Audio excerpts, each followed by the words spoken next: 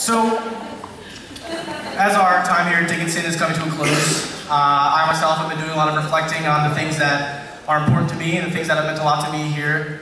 Um, and right up at the top of the list is being in the Octals. Like, just to echo the sentiments of Jonah, I want to thank you guys so much for all the hard work you've done. Like, I know we're leaving this group in good hands. This group has given so much to me, some of my closest friends, and some of my proudest moments as a Dickinsonian. So obviously, you can all enjoy if you want to, but this last song is really for you guys.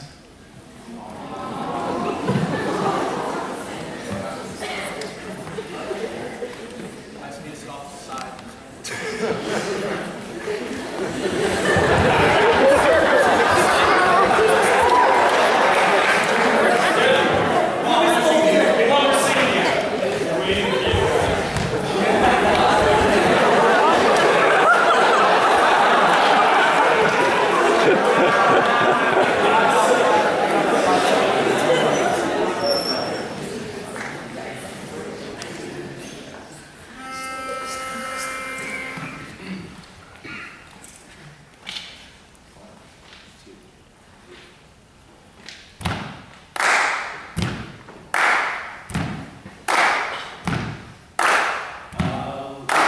give